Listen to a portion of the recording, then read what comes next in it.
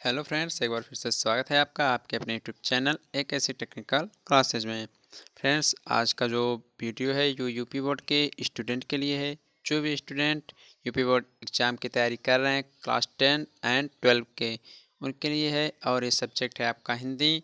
आपके जो पेपर में दस नंबर का क्वेश्चन आता है, जो हाई स्कूल के स्टूडेंट होंगे एग्ज़ाम दिए होंगे और इंटर की तैयारी करने रहे वो लोग जानते हैं। लेकिन जो हाई स्कूल की तैयारी अभी कर रहे हैं, उनको भी बता दें।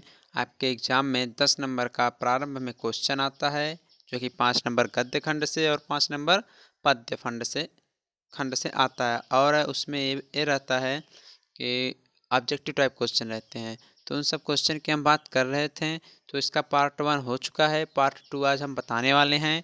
आप लोग प्लेलिस्ट में जाकर diploma class tenth and twelve जो हिंदी सब्जेक्ट है, नाम से प्लेलिस्ट बनी हुई है, वहाँ से सभी वीडियो ज़रूर देखिएगा। तो गाइस आज की वीडियो को करते हैं प्रारंभ। बिना देरी किए हुए, और हाँ चैनल पर अगर आप लोग पहली बार विज़िट कर रहे हैं तो चैनल को सब्सक्राइब ज़रूर कीजिएगा। साथ में बेल आइकन प्रेस ज़रूर कर लीजिएगा, ताकि जो भी हम वीडियो प्रोवाइड कराएँ, सबसे पहले वो आप तक पहुँचे। चलते हैं आज के जो फ़र्स्ट क्वेश्चन है, उस तरफ़ देखिए। सब्जेक्ट आपका हिंदी है।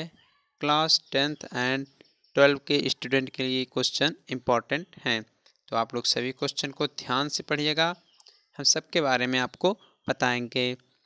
क्वेश्चन नंबर फ़र्स्ट आपका कहता है, भारतेंदु युग के लेखक हैं। भारतेंदु युग के लेखक हैं।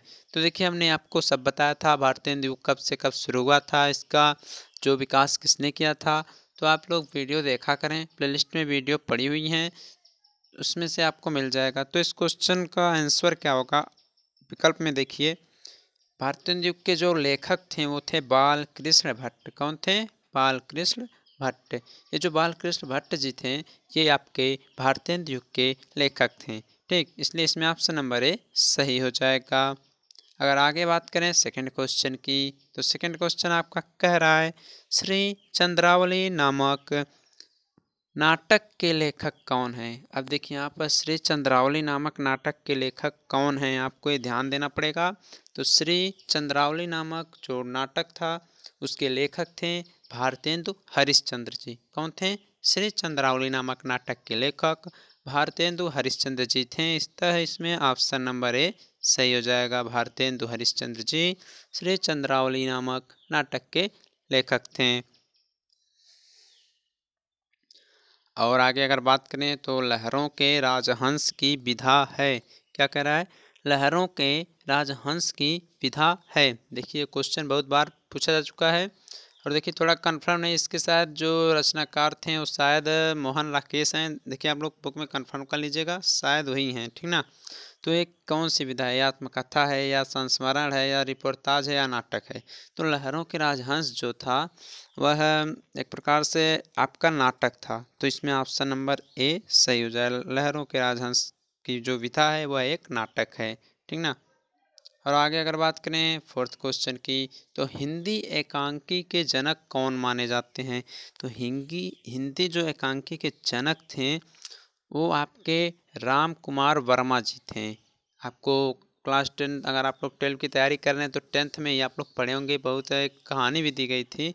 तो जो हिंदी एकांकी के जनक हैं, उनका जो विकास किए थे, वो थे राम कुमार वर्मा जी। अतः इसमें ऑप्शन नंबर सी सही हो जाएगा।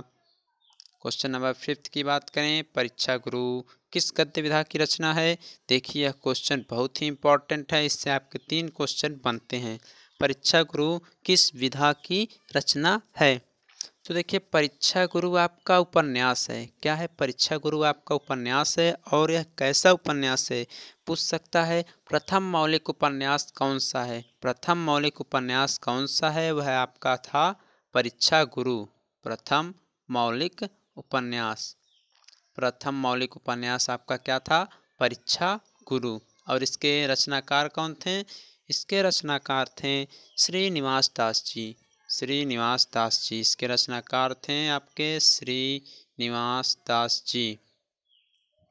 तो इस क्वेश्चन को बहुत ध्यान से पढ़िएगा आप लोग, क्योंकि इसमें तीन क्वेश्चन बन सकते हैं। परीक्षा गुरु का किस गद्य विधा की रचना है? तो ये आपका उपन्यास है।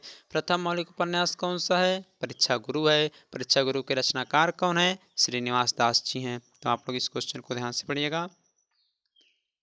क्वेश्चन नंबर सिक्स की बात करते हैं तो तितली उपन्यास के रचनाकार कौन है? तो देखिए, सबसे पहला क्वेश्चन पूछ सकता है, तितली क्या है? तितली क्या है? उपन्यास है, नाटक है, का निबंध है, क्या है? तो तितली जो आपका है, वह क्या है? उपन्यास है। तितली जो आपका है, वह क्या है? उपन्यास है। पूछ रहा है, इसके रचनाकार कौन है? तो इसके रचनाकार जो थे, वो थे जयशंकर प्रसाद जी। तो इसमें ऑप्शन नंबर सी होगा, तितली उपन्यास के रचनाकार जयशंकर प्रसाद जी हैं।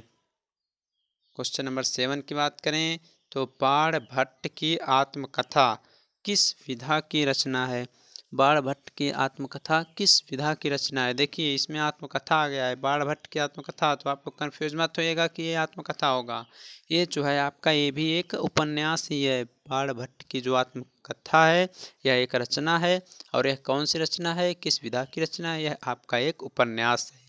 ये मत कन्फ्यूज़ रहिएगा कि जब आत्मकथा लिखा है तो ये, ये आत्मकथा होगा लेकिन ऐसा नहीं है। बाढ़ भट्ट की जो आत्मकथा है वह एक उपन्यास विधा की रचना है। क्वेश्चन नंबर एट बोलगा से गंगा गद्य विधा की दृष्टि से क्या है? बोलगा से गंगा गद्य विधा की दृष्टि से क्या है? देखिए क्वेश्चन भी बहुत बार आपके एग्ज़ाम में पूछा गया और इंपॉर्टेंट भी है, बोलगा से गंगा गद्य विधा की दृष्टि से क्या है?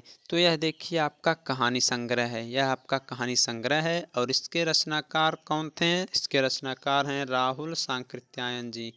राहुल सांकृत्यायन जी क्वेश्चन आपसे पूछ सकता है।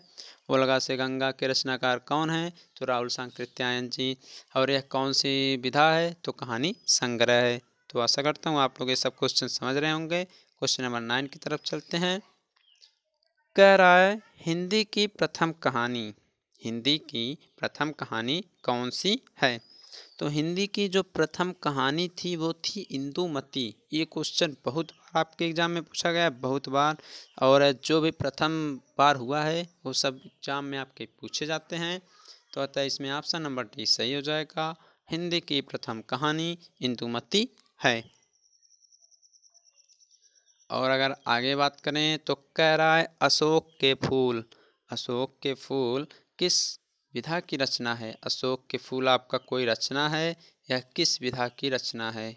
किस विधा की? नाटक है, संस्मरण आत्मकथा उपन्यास है, क्या है? तो जो अशोक का फूल था, यह आपका निबंध है। यह आपका निबंध है? अशोक का फूल जो है, यह आपका निबंध है और कैसा निबंध है? ये भी क्वेश्चन पूछा जा सकता है। अशोक का फूल निबंध तो है, लेकिन कैसा निबंध है? तो यह एक प्रकार का ललित निबंध है। निबंध भी आपके कई प्रकार के होते हैं। तो अशोक के फूल जो है, वह आपका ललित निबंध है। तो अतः इसमें ऑप्शन नंबर ए सही हो जाएगा। तो गाइस आज का भी टेन क्वेश्चन कंप्लीट हो गया। अब आके हम प्रयास करेंगे कि आप लोगों का कुछ सिलेबस भी आगे बढ़ाया जाए, जैसे आपके गद्य भाग के जो भी दिए गए हैं, कहानी दिए गए हैं, पैराग्राफ दिए गए हैं, वो सब थोड़ा आगे बढ़ाया जाए। इसको यहीं पर करते हैं ब्रेक। अब आगे से आपके चैप्टर स्टार्ट होंगे। बीच बीच में ये सब आपको मिलता रहेगा। तो गाइस, अगर आपको क्वेश्चन समझ में आए हों, वीडियो अच्छा लगा हो तो लाइक, कमेंट, शेयर ज़रूर कर दीजिएगा और चैनल को सब्सक्राइब ज़रूर कर लीजिएगा।